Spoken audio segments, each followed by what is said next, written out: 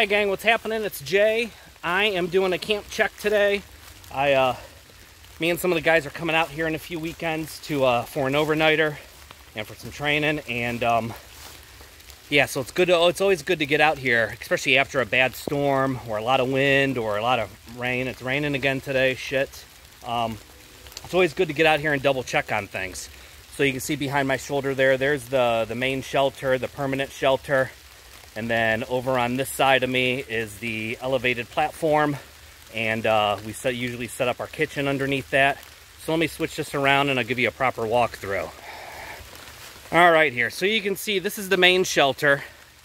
That's what we've been working on this year.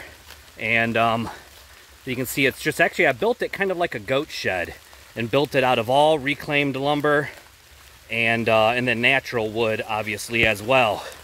And if you come on in, you can see it's about nine feet, or actually, I'm sorry, eight feet deep and nine feet wide. So it gives you, you can see how, how nice and dry it is in here.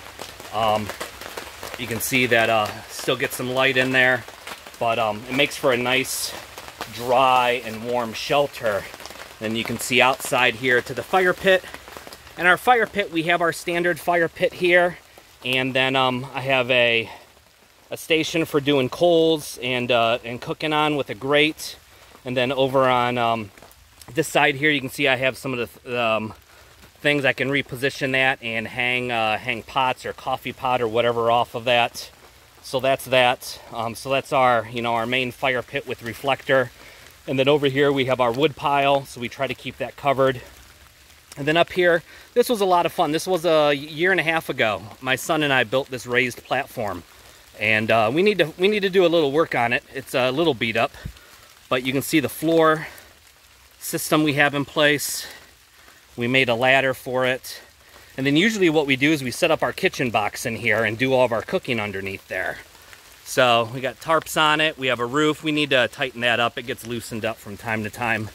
And then I've just recently torn down the old shelter. Um, this was where the original shelter was that I used for almost three years actually. But um, we had a tree branch, you see up there, break and uh, fall on it the last time. And that's what really um, accelerated me building that. So anyways, that is, give a little bit more of a view of it. That is the shelter setup that we have. Uh, this was a recent addition, this overhang here. I did this so when it's raining like this, at least you have a spot to sit underneath and stay out of the rain. So just did a joist system for that, you can see. And um, I think it works out all right. Got um, made a couple hooks for hanging things so you can hang your lantern out here, hang packs. Um, use uh, miscellaneous uh, nails or, you know, made my own there for hanging packs, lanterns, rifles, whatever you may have it.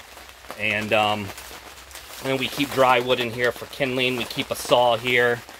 We keep a hatchet here.